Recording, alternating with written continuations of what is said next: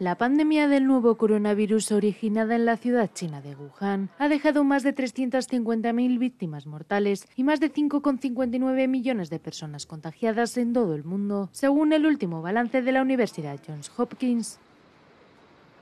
Estados Unidos se mantiene como el país más afectado por la pandemia y por segundo día consecutivo se queda por debajo de los 20.000 contagios diarios, con un total de 18.600 casos en las últimas 24 horas, la cifra más baja desde el 27 de marzo, lo que eleva el total a 1,68 millones de personas contagiadas y 98.929 víctimas mortales.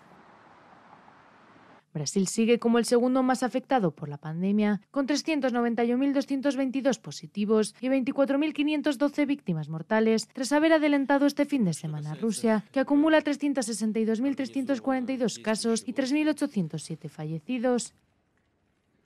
Reino Unido está en la cuarta posición global, con 266.599 casos y 37.130 víctimas mortales.